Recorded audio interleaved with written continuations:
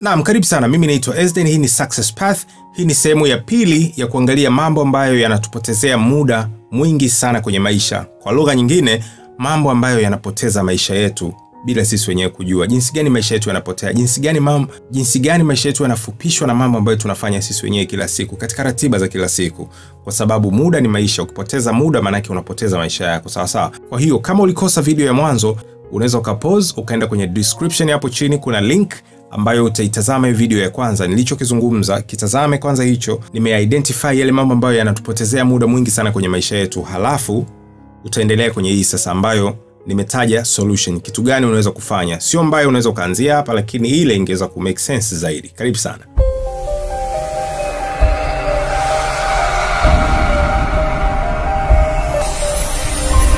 Naam, so tunaanza moja kwa moja na jambo la kwanza. Wote tunakubaliana kwamba muda una thamani kuliko pesa. Time is more valuable than money. Nafikiri hii imekuwa hata kwenye dibeti nyingi sana, lakini mara zote imekuwa ikionekana, na huo ndo ukweli kwamba muda una thamani kuliko pesa. Time is more valuable than money. Sawa sawa. Sasa kama muda una thamani kuliko pesa na tunakubaliana, alafu tukianza siku yetu asubuhi tunaanza kufanya mambo ambayo hayana msingi kabisa, yani siku nzima mpaka jioni, alafu ikifika jioni tunaanza kuwish tena, I wish I have more time. Natamani ningepata muda zaidi, natamani niwe na muda zaidi ili niweze kumalizia mambo kadhaa ambayo hayakuwahi kukamilika. Unajikuta tu wakati mwingine unakaa kwenye TV unaangalia kipindi ambacho hata ukipendi, eti unaangalia kwa sababu tu umekikuta watu wanaangalia na unaanza kuangalia. Unatakiwa ufike wakati tu tunakuwa makini katika maamuzi yetu, kwa sababu sisi ni viumbe wa machaguo. Tunachagua kile ambacho tunataka kufanya, kwa hiyo tunachagua vile ambavyo tunataka kuwa. Kwa hiyo wasikuburuze tu watu ambao wanapenda kuangalia kitu fulani. Kwa hiyo kwa upendi, basi unaenda pale. No, unaweza ukachukua muda wako ukaenda kufanya kitu ambacho ni more productive, sawa sawa. Kwa hiyo kitu cha kwanza, kuwa makini kuhusiana na muda wako. Usiyafanye tu kitu kwa sababu watu fulani wanafanya. Kabla hujafanya, jiulize swali hili: je, hiki ninachofanya kinaniongezea kitu fulani cha msingi? Labda kama una ndoto zako au malengo fulani, jiulize, hiki ninachofanya sasa hivi au ninachotaka kuanza kufanya kinanisogeza hatua kadhaa kwenye ndoto zangu? Kama haikusogezi, sio kitu cha kufanya. Ujifunze kuweza kusema no, kwamba no, hiki kitu mimi sitaki kufanya. Kwa hiyo hicho ndio kitu cha kwanza. Time is more valuable than money. Muda ukiutumia vizuri, pesa zinakuja tu sawa sawa, na pia muda ukiupoteza huwezi kuupata tena, lakini pesa ukipoteza unaweza ukazipata tena. Kwa hiyo akili kichwani, hilo la kwanza. La pili, ongeza muda wa kuboresha afya yako. Kuna jambo hapa tutakubaliana kwamba watu wengi sana sisi huwa hatuithamini sana au hatujali afya zetu mara nyingi, sawasawa sawa, na haya mambo hayasemwi. Yani huwezi kukuta watu wanasema kwamba bwana, mimi sijali afya yangu. Hapana, wewe angalia watu wanachofanya, angalia watu wanachokula kila siku, angalia ratiba zao za kila siku za kulala, za kujali tu afya yake na kila kitu, yani maisha yake kwa ujumla. Ukiangalia utaona kabisa kwamba mtu haijali afya yake vizuri, sawa sawa. We always take our health for granted until we get a wake up call, na wake up call mara nyingi huwa ni kama magonjwa, labda sasa mtu ukiugua anapata kitu fulani kikubwa na nini, ndo sasa mtu anaanza kuhaha Yani baada ya kuambiwa sasa labda ana tatizo la mafuta mengi, mtu ndo anaanza sasa process za kuyapunguza hayo mafuta, lakini uh, mara zote kinga ni bora kuliko tiba. Kwa hiyo ongeza muda wa kuboresha afya yako kwa kufanya vipi? Vitu kama kufanya mazoezi. Yani muhimu sana kuanza kufanya hii kitu, anza kufanya mazoezi, kula vizuri, pata usingizi wa kutosha, usingizi wa kutosha, lakini anza kufanya ibada pia. Haya ni mambo ambayo yataboresha sana afya yako. Kwa nini? Kwa sababu haya mambo yote niliyoyataja, kwanza yanahusiana moja kwa moja na kukuondolea stress au kukupunguzia stress kwenye kichwa chako kwa sehemu kubwa sana. Tunajua kwamba unapokuwa huna stress unakuwa free, unakuwa huru kuweza kufikiria vitu vingi zaidi kwa nafasi sawa sawa. Kwa ni kitu ambacho watu wengi wanatamani kuishi bila msongo wa mawazo. Fanya vitu hivi lakini pia sasa inahusiana nini na, na, na kupoteza maisha yako? Ni kwamba imagine kama ufanye vitu hivi unaenda kwenye vitu vingine kabisa, kwa sababu siku zote akili ya mwanadamu isi, isipowekwa kwenye kitu sahihi inatafuta kitu kingine kwenda kufanya. Ushaambiwa an idle mind is the devil's workshop. Ukiwa ufanye kitu cha msingi, akili itatafuta kitu cha kufanya sawa sawa. Kwa hiyo wewe jenga mazoea ya kufanya vitu vya msingi zaidi. Kwa hiyo tenga muda au jenga muda wa kuboresha afya yako, kufanya vitu ambavyo vitaboresha afya yako kama nilivyovitaja kwa ufupi sana. Kitu cha tatu ni jenga msingi utakaokupa mahusiano sahihi kwenye maisha yako. Mahusiano sahihi kwenye maisha yako. Hapa nitapaelezea kidogo. Kwa mnaosikiliza muziki, mnamfahamu msanii anaitwa Linux Sande Mjeda. Kuna wimbo wake mmoja Kimugina anasema kwamba anasema kwenye maisha ni bora upotee njia wasamaria watakuelekeza, lakini usije ukapotea, usije ukakosea kuoa au kuolewa. Ni ujumbe kama mdogo, lakini ni mkubwa sana na ni mzito sana, kwa sababu ukikosea kuoa au kuolewa inamaanisha huyu ni life partner, ni mtu ambaye unahitaji kuishi naye miaka mingi zaidi. Kwa hiyo kuna mengi sana yatatokea, na of course ukikosea mwanzo, yani kama sababu ilikuwa sio sahihi, basi jiandae kupata breakdown, jiandae kupata matatizo mengi sana mbele. Na watu wengi sana huwa wana focus kwenye siku ya harusi na honeymoon, lakini ndoa sio siku ya harusi na honeymoon. Una mtu utakayemuoa au mahusiano utakayojenga katika maisha yako yanahitaji kukupeleka mbali zaidi. Kwa kama ni mtu ambaye mnapishana kwa vitu vingi, hujamuelewa vizuri, utakuwa unaunda bomu. Sawa sawa, labda tujifunze zaidi kwenye vielelezo vingine zaidi. Kuna mwandishi anaitwa Stephen Covey ambaye ameandika kitabu kinaitwa The Seven Habits of Highly Effective People. Kwenye kitabu chake ame, ameongea kitu kizuri sana, naomba nishare. Anasema kuna maeneo manne ambayo sisi kama wanadamu muda wetu unapotelea humo, muda wetu unakwenda humo. Maeneo haya manne ametaja ifuatayo. Sehemu ya kwanza ametaja ni, ni mambo ambayo ni and important, kwamba ni mambo ambayo ni muhimu na yanahitaji uharaka, kwa mfano crisis, kwa mfano deadlines na vitu vingine kama hivyo. Maanake ni yale mambo ambayo yanahitaji haraka na ni muhimu. Yani kwa mfano labda nyumba imeungua, tusipoenda kuzima sasa hivi, kuna watu watakufa, kuna mali zitateketea. Ni deadline, kuna kitu fulani unatakiwa ulipie. Usipolipia labda ita expire, then ita, utapata penalty fulani. Kwa hiyo yani ni kitu kikubwa. Usipofanya kitu fulani, kuna watu watakufa, itakuwa hivi na hivi. Lakini ukweli ukoje? Mambo kama haya mara nyingi hayatokei mara kwa mara, sawa sawa. Jambo la pili ni non urgent and important, mambo ambayo hayahitaji uharaka lakini muhimu. Fuatilia kwa makini, hayahitaji uharaka lakini muhimu. Kama nini? Anasema building relationships, kujenga mahusiano, uh, identifying opportunities, kutambua fursa mbalimbali na kadhalika. Nitafafanua kidogo. Kujenga mahusiano ndo kama hiyo. Huwezi ukamwona mtu labda tu let's say life partner, ukamwona tu mara moja ukaona kwamba oh, huyu ndo mwenyewe, ila inaweza ikaja idea kwamba huyu mtu anafaa, lakini huwezi moja kwa moja kujua anafaa. Lazima utahitaji muda kumfuatilia vitu vyake kidogo. Je, yeah, kweli anafaa? Lakini pia kutambua fursa, identifying opportunities. Fursa unaweza ukaiona ikasense kwamba hii inaweza kuwa fursa sahihi, lakini usipokuwa makini unaweza ukapoteza muda na, na resources uh, kwa kufikiria kwamba umefanya kitu sahihi. Watu wangapi wameona matikiti yanalipa sana jamani, au sio? Mtu akaamua kwenda kuingia kwenye matikiti afu aenda kupata hasara kubwa sana. Vitu hivyo vinatokea, lakini angechunguza kidogo, labda akaangalia kidogo, angeamua kusubiri kidogo, kwa angepata kitu sahihi. Kwa hiyo hii kwa hivyo kwamba kuna vitu ambavyo havihitaji haraka, lakini vya muhimu, ni mahali muhimu sana kuangalia. Jambo la tatu amesema ni mambo ambayo yanahitaji haraka lakini hayana umuhimu. Iko kinyume na iliyopita. Yanahitaji haraka lakini hayana umuhimu. Kama nini? Kwa mfano ni usumbufu wa kila siku. Unaweza kuwa hapa mtu anakuja bana, SDN, naomba nisindikize Mikocheni rafiki yangu. Kuna nini? Atuende tumoja pamoja bana, sijui kuna shughuli tunaenda. Inahitaji haraka lakini hamna umuhimu wowote Au phone calls. Mtu anakupigia simu, unaacha unachofanya unaenda kupokea simu. Upuuzi mtupu. Mtu anapokea. Kuna watu wengine hawawezi kuwakatia simu wa watu wakiwa wanawambia vitu ambavyo havihusiani kwenye maisha yao. Kwa nini? Kwa sababu wanapenda kuwaridhisha watu wengine, hata kuonekana mbaya. Unaona, ah, ngoja nimsikize tu. Eh, sawa sawa.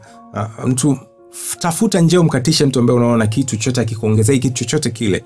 Psh, ondoa hiyo, sawa sawa. Jambo la nne na la mwisho amesema ni mambo ambayo hayahitaji haraka na wala sio muhimu. Ajabu ni kwamba watu wengi sana hapa ndo wapo wengi. Hapa hahitaji haraka na yana umuhimu. yani kwamba usipoenda sasa hivi ilipo tu lile swala. Kuangalia TV, kushika simu, kucheza kwenye social networks, Instagram, Facebook, Snapchat, popote wapi huko ambapo panachukua muda mwingi sana.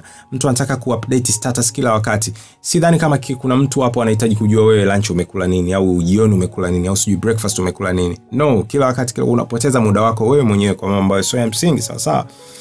Na anasema kwamba watu wengi wanapoteza muda mwingi katika jambo la kwanza na lile la nne. Namba moja namba nne. Namba moja ni ile ambalo ni mambo yanahitaji haraka na ni muhimu.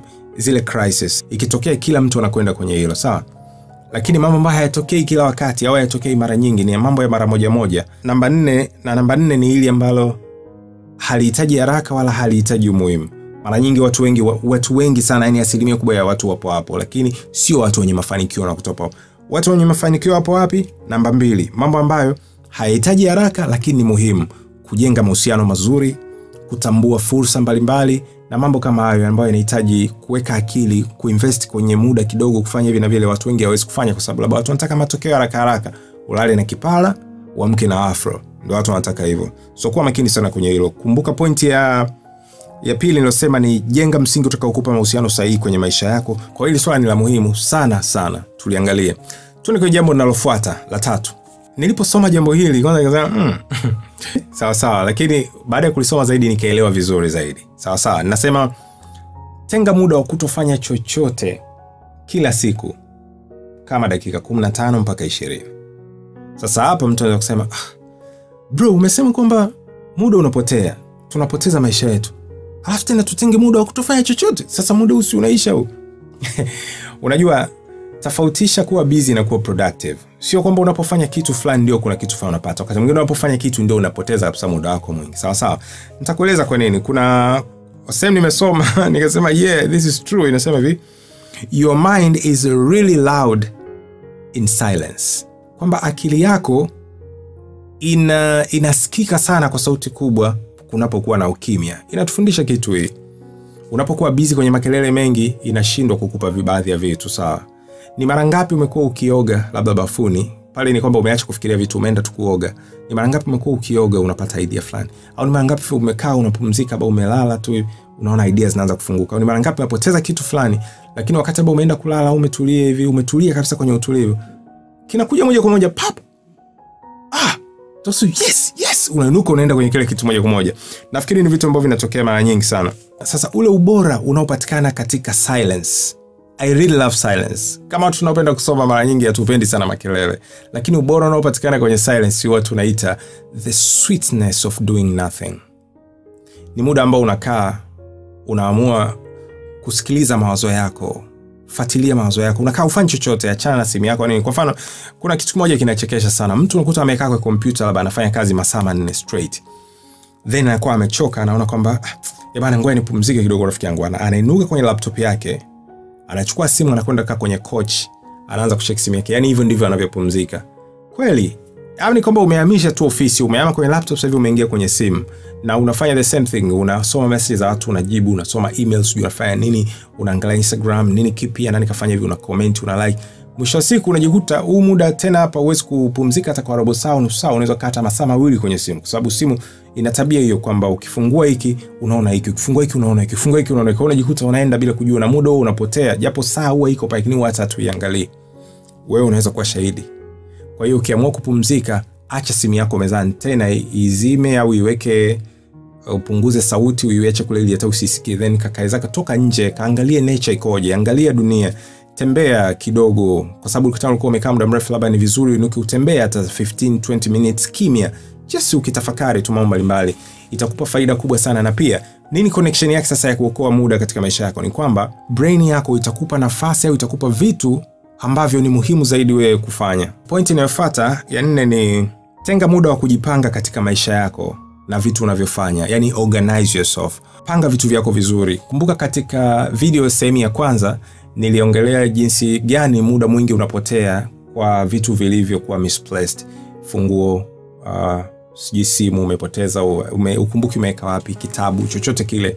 Ukitumia dakika kumi tu unakuta ni masaa mengi sana yamepotea yani kwa mwezi kwa mwaka pia yani muda mwingi sana unapotea. Kwa hiyo ukiwa una utaratibu wa kuweka vitu vyako sehemu maalum kwamba funguo zangu zitakuwa nakaa hapa simu yangu itakuwa inakaa hapa kitu fulani kinakaa pale viatu vinakaa pale socks zinakaa pale boksa ziko pale vesti ziko pale. Yani itakusaidia sana kuokoa muda mwingi sana unapoamka asubuhi straight up unaoga umevaa kila kitu kiko sehemu yake maalum yani unavipitia tu unaondoka. Lakini ukija tena unavipanga hivyo hivyo. Itakusaidia Ita- sana kuweka vitu vyako vizuri kwa sababu failing to plan is planning to fail. Ukishindwa kujiandaa unajiandaa kushindwa. Kama utatumia dakika kumi kuiplan kazi ya saa moja ambayo unataka ukafanye hiki kitendo cha kutumia dakika kumi kufanya hiyo planning na kufikiria huo muda na kufikiria hiyo activity itakufanya uokoe zaidi ya nusu ya muda huo wa saa moja. Kwa hiyo kazi ya saa moja unaweza kuchusa kwa sababu umeiplan kwanza. Ukianza kuifanya inaweza ikachukua hata dakika 30 nusu tu yake. Kwa hiyo 30 na hizi kumi na maana kama dakika 40 utakuwa umeokoa 20 minutes. Yes kujipanga ni vizuri zaidi. Kujiandaa ni vizuri zaidi. Maandalizi ni vizuri zaidi. Sisi wote tumepitia shuleni sawa sawa. Ilikuwa inakuwaje wakati wa mitihani? Lazima maandalizi. Na aliyejiandaa vizuri matokeo huwa tunayaona au sio Na jambo la tano katika kuangalia jinsi gani ya kuokoa muda ni tenga muda wa kupangilia mapato na matumizi. Nitaenda moja kwa moja kwenye mfano wangu mwenyewe. Uh, binafsi nilikuwa sifanyi hili sawa la kuandika mapato na matumizi, ila siku moja kuna mzee mmoja msikitini ambaye anajiweza, yuko vizuri, huwa anazungumza naye vitu vingi sana. Huyo mzee ni rafiki yangu sana, akaniambia kwamba hivi wewe una, una, unaandika mapato na matumizi? Nikamwambia hapana. Akaniuliza kwa nini? Nikamwambia basi tusifanye. Uh, lakini na, nafuatilia vitu vyangu. Akaniambia ni uwezi kufuatilia. Akaniambia hebu anza, utagundua kitu kikubwa sana. Mimi sitaki kuambia utagundua nini, lakini andika kila kitu unachotumia sawa sawa. Andika mapato ni kiasi gani, kwamba umeingiza kiasi gani kila siku, alafu kila siku jioni andika kila ulichonunua hata kama kidogo, au kuna mtu umemtumia pesa hiyo, andika pia ni kwenye matumizi.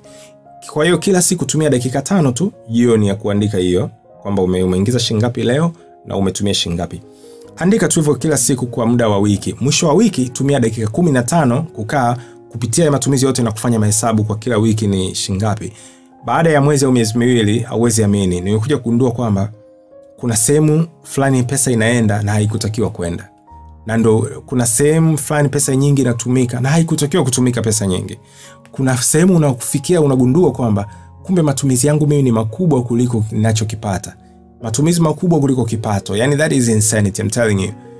Unafanya maajabu yani, unajua yani kwamba wewe unaingiza 500 afu unatumia 1500 hii 1000 nyingine inatoka wapi? Kwa hiyo ukiweza kufanya hii ratiba kwa miezi mitatu utajikuta kwamba unaanza kukata vitu ambavyo sio vya msingi na kuanza kufanyaje kupata hata pesa ya kusave, kuanza kujiwekea akiba. Hii inaweza ikatokea kama utafuatilia vizuri ndani ya miezi kama mitatu hivi. Kwa ni kitu kizuri pia katika kuokoa muda, pia kupunguza muda ambao ungeutumia katika vitu vya kipuuzi, lakini unaweza kutumia muda wako pia katika ku, especially upande wa kifedha, matumizi na kila kitu sawa sawa. Na hatimaye jambo la mwisho ambalo linaweza kuwa la msingi zaidi kufanya katika kuokoa wewe kupoteza muda mwingi zaidi, kila siku ukiweza, au kila wiki tenga muda wa kusaidia watu wengine. Sasa mtu anaweza kuuliza hii inasaidiaje katika kupoteza muda? Ni kwamba kumbuka, tunaangalia mambo ambayo tunayafanya lakini hatupotezea muda mwingi zaidi, lakini mara nyingi hatujiulizi vitu gani vya msingi ambavyo tunatakiwa kuvifanya na hatuvifanyi. Unaposaidia watu wengine, huwa kuna feeling fulani unaipata ambayo hakuna pesa inaweza kununua. Sasa hii itakusaidia kureplace yale mambo ambayo unafanya na hayakupi fulfillment yoyote kwenye maisha yako wewe, lakini feeling tu utakayoipata kupitia kwenye jambo hili la kusaidia watu wengine huenda ikakupeleka mbali sana na ukawa mtu wa kufanya vitu positive zaidi. Sawa sawa. Kwa hiyo naamini kwa haya machache ambayo tumejadili, yapo ambayo kuna sehemu aidha yamekugusa moja kwa moja au yote. Niambie kwenye komenti jambo gani wewe umejifunza na lipi ambayo unakwenda kulifanyia kazi sasa hivi. Nisikuchoshe, naomba tumia muda huu kutafakari kidogo na kuniandikia kwenye comment kitu ambacho unaona kizuri. Share video hii kwa wale ambao unaona itawasaidia. Karibu sana, karibu sana. Subscribe, comment like tukutane wakati mwingine. Ungependa mambo gani niongelee? Niambie pia kwenye comments. Kitu gani zaidi umependa kwenye video hii? Niambie kwenye comments. Kama ukuona sehemu ya kwanza, link ipo chini kwenye description. Bye bye.